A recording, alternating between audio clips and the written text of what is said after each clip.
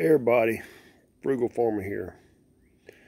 I'm sitting out on my porch, been working hard all day. Came back to my beer and what would I have but a couple flies in there. And just for those of y'all who don't know, what you do when flies are in your beer, you say, spit it out. Now, spit it out, all of it. And there you go, that's what you do. Thanks for stopping by. Come back again when you will. Share, comment, like, hit that subscribe button. God bless.